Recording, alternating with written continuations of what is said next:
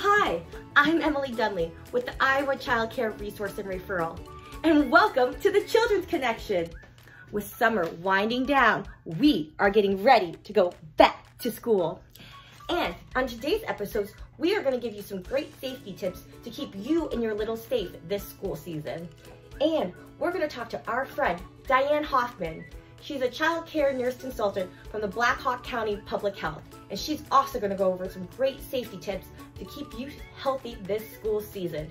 So come on, let's go get ready and let's go back to school. And we're back. Something that we can do this school season to stay safe is to wash our hands.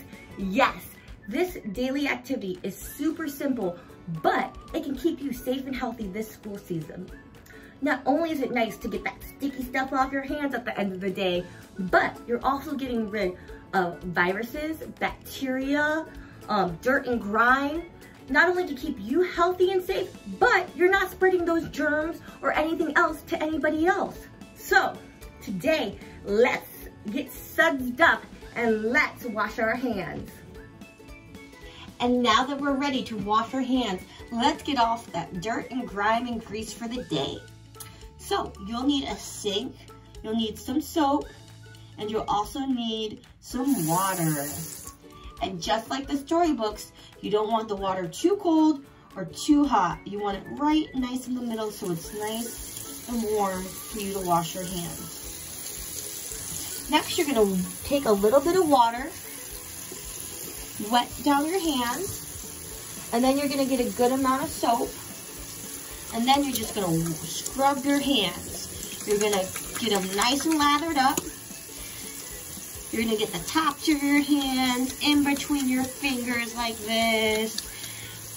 You're gonna get the palms of your hands really good, your knuckles. We're even gonna get underneath that those fingernails because we know that when we're playing outside, sometimes dirt or bacteria or germs likes to go underneath our fingernails. And I even like to do and go all the way up to my wrist just to make sure that I'm being extra clean.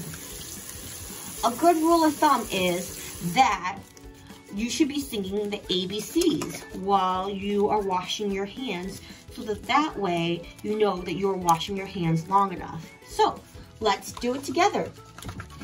A, B, C, D, E, F, G, H I J K L M N O P Q R S T U V W X Y and Z. Now I know my ABCs. Next time, won't you sing with me? Yay! Okay, so now we're gonna turn back on our water and we're gonna rinse off this soap. And next, we're just gonna dry off our hands. Also, if you're using a public restroom, you can always wash your hands,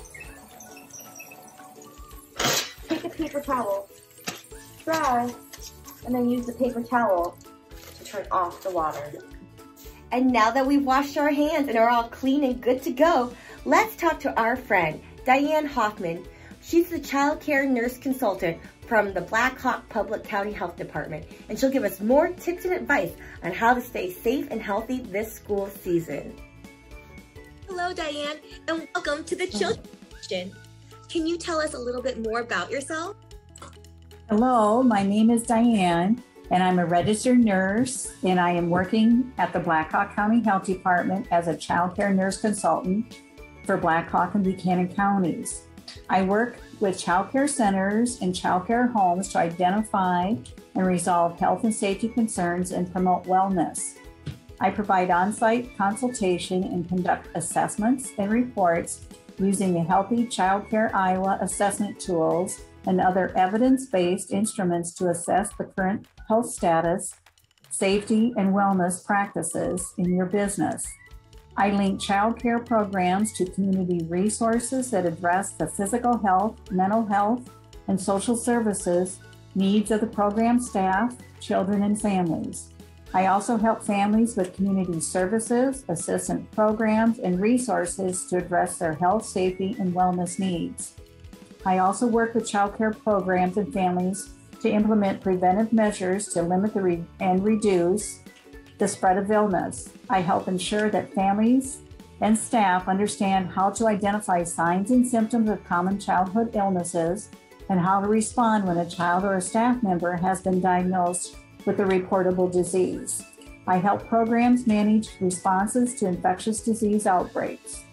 I also work with childcare programs to ensure that children with special healthcare needs and or chronic healthcare conditions have full, safe inclusion in their program.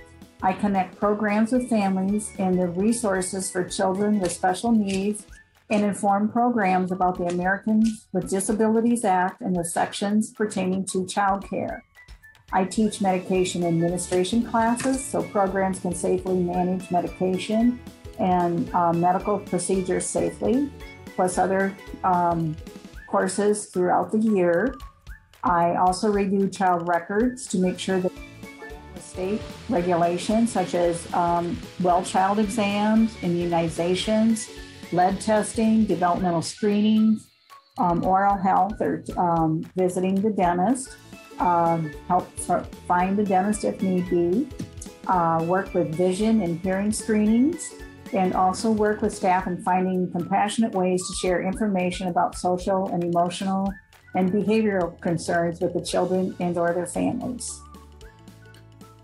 Wow, it sounds like you have a pretty important job that keeps us safe and healthy.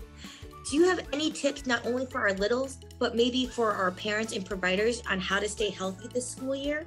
The number one thing would be to get into a routine. Um, now would be a good time to start, especially not only just Monday through Friday, but also on the weekends. Uh, they should have a certain time to start getting ready to um, prepare themselves for bed to get a good night's sleep, at least eight to nine hours of sleep every night um, children need their sleep. They need uh, their brain needs to process what they have learned through the day. Ooh, it is so important to build those good routines before and habits before starting the crazy school year. Is there anything else that we need to know about, like washing our hands or anything like that? To say hand hygiene is the most important way to reduce the spread of infection at home and at school and out about in the community. Many studies have shown that improperly cleansed hands are the primary carriers of our infections. Um, so we want to make sure that the children know the appropriate way to wash their hands. And when um, when do you want to wash your hands? You know, it's just like I say with the teachers and the students. It's upon arriving at school, um, after breaks, or when moving from if you're in a child care center from one, whether it be staff or children, from one group of child care to another. And before and after, preparing your foods or beverages, before you eat, after you eat, handling food, um, or even feeding a child, uh, when you're giving medications or applying uh, medical ointments or creams. Um, for examples, like if there's a break in the skin and you're putting a band aid on, make sure you do wash your hands afterwards. Um, lots of uh, germs can be encountered that way by touching things. Even if they're playing in water at school, this includes swimming that is used by more than one person. They need to be washing their hands afterwards. So those little play buckets of water that you see them they, yes, indeed. If there's two or three children playing with that, they do need to wash hands afterwards and always after diapering. Um, again, using the toilet or helping a child use a toilet, we need to make sure that our hands are being washed. Any body fluids that you might come in contact with, whether it be mucus, blood, vomit, um, any coughing or sneezing, you're, you're wiping noses, um, cleaning up sores if they're outside and you're handling animals or cleaning up on animal waste, again, washing hands. Even when children are playing in the sand or on wooden play sets and they're outside, still need to clean hands. Um, How do you ha- feel about hand sanitizer? Well, that is a good question. Uh, we recommend it only when there is um, not soap and water that can be easily found around, like if you're outside. Um, you have to remember that alcohol um, based hand sanitizers do have the potential to be toxic to the different amounts of alcohol content um, that they have in them. But just like with anything, we just want to make sure that it is always supervised by an adult. Um, however, there are some common diarrhea causing germs that are not killed, and one of those is a norovirus. No matter what, um, that is not going to help. Um, these germs are uh, very common in childcare settings, and especially with our children that are less than two years of age, they are at the greatest risk of spreading diarrheal um, diseases due to the frequent diaper changing. So we still want you to be washing these little people's hands with soap and water as much as possible. Wow. So it sounds like washing our hands is important for the littles and it's important for providers and parents. Right. Is there anything that we need to be doing as parents or providers to be looking out for our littles? And so we do ask that any caregivers or teachers who smoke off premises before they start work, they should wash their hands before, uh, as soon as they get into work and before caring for any children to prevent children from receiving what we call the third hand smoke exposure. And that was um, documented by the Mayo Clinic back in 2010. So there is such a thing as that um, third hand smoke exposure going out there. So again, hand washing, soap and water, your number one defense against any type of illness. Wow. Thank you so much, Diane, for this great information. Where can providers and parents find out more information if they have any health questions?